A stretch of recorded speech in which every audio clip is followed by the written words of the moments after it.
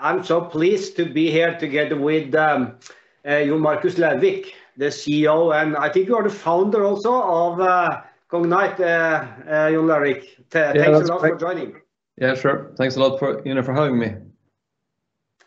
I think when I'm thinking about very successful startups in Norway, and when I'm thinking about truly digital companies in Norway, and when I'm thinking about digital experts in Norway, it all comes uh, to your direction, uh, Markus, both you as a person, but also Cognite as a company. So, uh, and the reason I would like to have this chat is that I think all of us have seen how this COVID situation has really fast-forward digitalized the entire societies, not only companies, small and big, but also societies at large. I would like to to discuss that a little bit with you, how you see that. So, but maybe we should start with with the Cognite. Could you give us some brief explanation on on what what that company actually doing? Yeah, no, I mean, I think we're all uh, in our personal lives, we are all digitalized, right? We're using smartphones and in both in how we interact with each other and how we interact with the consumer companies like Spotify or YouTube or, or, you know or other companies is now completely digitalized and in many ways friction-free. It's very easy, it works. But moving into the physical world and in you know industrial you know world, eh, we are in many ways still living in 1999, as I like to say. It. It's it's paper-based systems. It's um, it's really ineffective, full of waste, and it also needs to be transformed because it's not always environmentally you know, uh, friendly, if you will. So Cognite is a is a software company focused on industrial digital transformation, really you know, making in industry more in a more you know financially sustainable, but also even more importantly, it needs to be environmentally you know sustainable. Mm. But to work with this industry, kind of old giants as you do, that's not easy. Are they ready to be digitalized uh, and actually opening up the way they used to do business? 2020, I think, was really a year that made executives of large industrial companies realize they need to move, both because of COVID and the way of working, but of mm-hmm. course also because of the increasingly environmental you know, pressure. So I would say uh, you know, industry is really starting to move, and I think over the next five to ten years, we'll see Uh, the asset-intensive industries change as much as our personal lives has changed over the last you know, couple of decades. Uh, how can a relatively small country like Norway and a startup like uh, Cognite was some time ago, how can we compete up against those global giant platform players? Well, I think, you know, first of all, we should look at those platform players as great partners. Of course, they provide infrastructure and capabilities that we, 10 years ago, would have had to build ourselves. So Cognite as a startup would have taken a long time you know, just to get going. So for us, it's that plus, of course, 5G and all the things that you are coming in with is infrastructure that enable companies like Cognite to get much quicker to market. But, uh, but of course, also, you can't be naive. Uh, so these these people or these companies can, of course, also eat you if you're not really Uh, making sure that uh, you are competitive.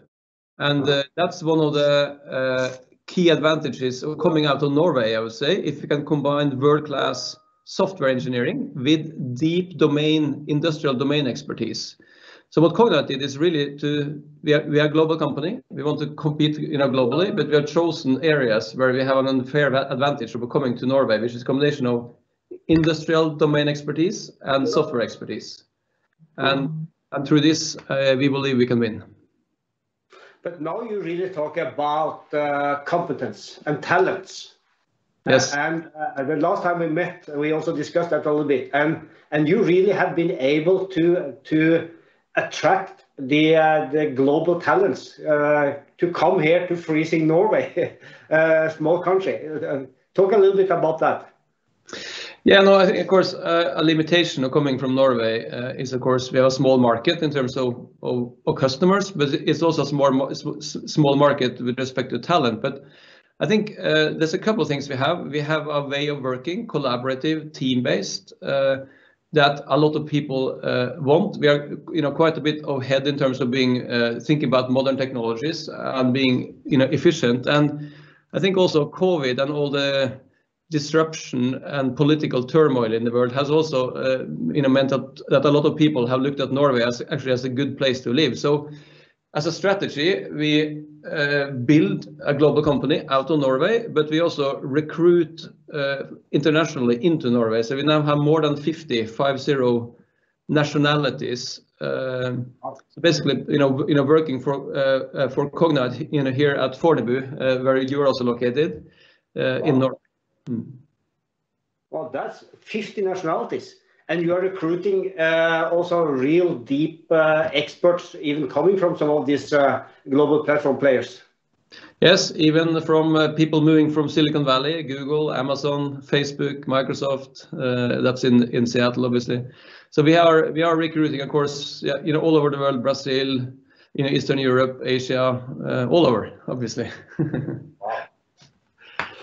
We, I think I, am really uh, having the same views on this, and and uh, we also see that um, the uh, not only the Norwegian way of working, but also the Norwegian culture is actually quite attractive. There are small distances between top and, the bottom in the organization. There are are small distances between big and small companies, even with the government and that is really helping when you have to move fast and when you when yeah basically when you need to develop new business models and, and the, the partnership that you're talking about. Yeah but of course it's also important uh, you know culture is very important because uh, when you have people from so many different you know you know nationalities it's um, some people are used to very hierarchical the boss decides other are used to very flat like norwegians where they decide what they want to do themselves almost so you need to create that. So that's where you we've spent a lot of time on creating this common culture, common direction, vision, obviously, having uh, modern ways of setting uh, objectives. We use something called OKRs, objective and key results, to measure sort of quarterly, you know, semi-annually. And of course, uh, we, we also use old-fashioned uh, KPIs. you need to find the right mix of these things. So this is, of course, really uh, exciting. I, you know, I find it exciting, but it's also quite challenging, especially when you hire a lot of new people. You need to uh, reiterate and reiterate and reiterate uh, many times because uh, you know you know people may have been in the organization just for a month or three or six. Uh. But in this very fast-moving uh, uh, kind of development that we see now, and also with the digitalization accelerating even more, and also being coming with new disruptive business models, uh, what will what what will kind of uh, be the difference between the loser and the winner share? Because there will be losers uh, in what we are seeing now. So what what what would it really take to to win? And now I'm talking a little bit more general than than just your business or my business. Yeah, no, I, I think. Um, but I'm also seeing what you are doing. When I talk to Telenor uh, now, uh, in contrast to some years ago, there's much, you know, much more diversity, different types of people. And I think that's part of the winning. You know, I to hear that. I yeah, yeah, hear that. yeah, of course. It, you know, you, you, and I are boring Norwegian uh, males, but uh, you have a lot of diversity in your organization. I think, and I think the same here. I think that's really important. That's at least something I've learned over the years. I think you need to create a learning organization that can learn and adapt uh, quickly. I think that's going to be critical. Uh, uh, and I think also a new thing that I think industry, uh, I'm not talking about the telecom industry now, but at least asset intensive industries need to be a lot better at collaborating and partnering. Uh, I think a lot of the industrial technology companies or industrial companies are trying to basically take the whole cake to themselves. Uh, and I think that's a losing recipe. So to be mm-hmm. good at partnering, collaborating, you know, you know, maybe even with competi- you know, with with competitors. So you have competition, as you call it. I think that mm-hmm. have the confidence, the self-confidence to actually know what you're going to be really good at, and creating this partner mm. system. So it's going to be increasingly uh, important. There's no way Telenor, even as a very large company, can be good at everything. You need to partner you need to be able to, and, and, and, you, and if you're good at it, that's really a competitive strength. Do you think that, uh, uh, on what you just said, do you think that um, the, all these partnerships, and for me, a partnership is very different from just uh, having a vendor or a customer-client relationship. It's going much deeper uh, into uh, working together. But do you think that going forward, we will see a more, what should I call it, a more blurred, not so clear uh, distinction between IT players and manufacturers and telecom companies and system integrators and all the different type of industries that we used to have? And now you will see partnership where everyone is basically do do everything. Uh, and also you will see that maybe you are both a partner uh, and a competitor with the same same company at the same time. Uh, sure. Do you see that to happen? Yeah, no, I you know, absolutely. I think that happens. But then again, it's important for that to work, you need to be clear on business models and incentives, if you will. What you know what drives Telenor, for example? What drives Cognite? What drives other companies to understand? I think if you understand that and you have good alignment around incentives and value creation and value capture, then you have at least, uh, in my view, the most important basics for a great uh, partnership and a great collaboration. So I think that's really important because for partnerships to mean something, it must it must uh, it must mean that uh, we we are driving our our companies in you know in a in the same, let's say, common direction. Yeah. Let me end with one one topic that I think uh, is of interest for both of us, and that is the 5G when it comes. I often called it kind of the perfect storm when you have AI, 5G, and Internet of Things merging together as uh, three different technologies. Uh, and with 5G also moving into edge computing and getting much closer to where data is being produced. Uh, how do you see that in your business? Well, that's a perfect question. Something, an area I'm really um, passionate about because one way of explaining industrial digital transformation is that it's a journey or there's steps up you know, um, a ladder, if you will. And the the first step is just to make data available for people to make better decisions. So basically dashboarding, you know, giving me what I need. It's like uh, you know, searching on Google as a consumer. The second step is then to start to use the data information and optimize it using AI, if you will, or analytics. Um, that actually you can give, for example, people informed decisions. Now you should do this because this is happening or something like that.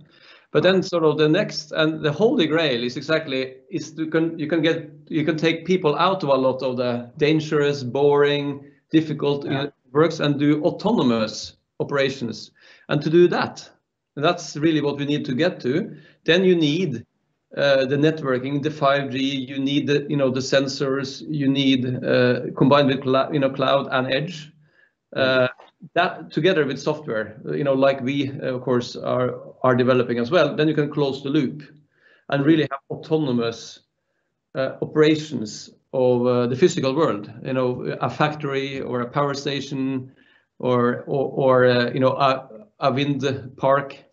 And that's really exciting, and and that's one of the areas I also really hope uh, we can collaborate uh, as Telenor and Cognite. Is. And I think and and one of the first areas, and I get really really excited now, but is autonomous inspections using robots, whether being drones, underwater robots, or or robots uh you know moving around mm. the ground. There, actually, you can start to do the job that people do today uh, uh, in not a very good way, but do it through cheap robots using 5G and software uh, you know, based on AI. And then you you close the loop, you have autonomous industry. No, I absolutely agree. In in Telenor, what we have kind of we have discussed a lot, what what will be the new normal or what will come out of this COVID situation. And and we have talked about three points. One is the digitalization of customer journeys, uh, digital first. Yeah. Uh, it's the uh, you have modernized organization. You have to to have different type of business models. But the third one is what we call zero-touch operation, and that is exactly what you're talking about. Why do we have humans to run the operation? And and why don't we use machines actually to not only run operation, but also do predictable maintenance, such that we can do something even before before things happen. We are we are really sharing the same views on this. Uh, you know, actually, a fun a fun story in, in this context is, uh, you know, we all know in the car industry, uh, when they're man manufacturing car, they have lots of robots, but they are typically painting, sort of screwing in screws and doing stuff like that. But it turns out that these robots also needs maintenance and inspection. So now we have are working on a project where we're using robots to monitor the robots uh, autonomously. Uh, okay. That's really cool. Uh, but this is, and again, you need 5G, you need IoT, you need software. Uh, uh, and you need some robots. Uh, so I think this is, yeah, and the thing is, this is happening now. This is not going to, you know, happen in 10 years. It's happening in 2021, 2022.